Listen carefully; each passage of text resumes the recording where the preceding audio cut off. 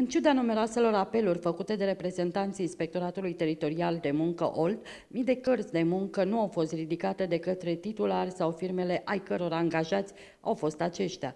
Dacă în urmă cu mai mulți ani ritmul ridicării acestor documente era unul mulțumitor, acum, în acest scop, abia de mai trec lunar pragul instituției 1 sau 2 titulari.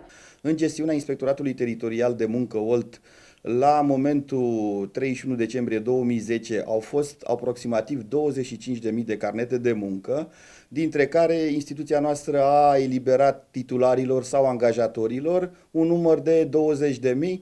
La această dată, mai fiind în gestiunea instituției noastre aproximativ 4.800 carnete de muncă.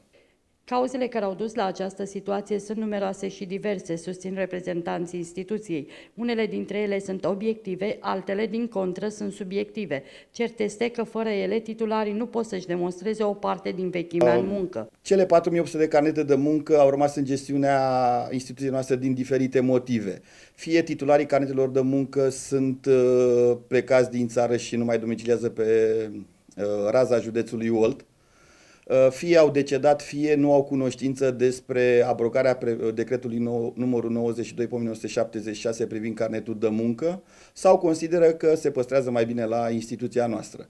Ridicarea cărților de muncă se poate face zilnic de la sediul Inspectoratului Teritorial de Muncă OLT în timpul programului de lucru. Ele se eliberează doar titularilor pe bază de cerere și document de identitate.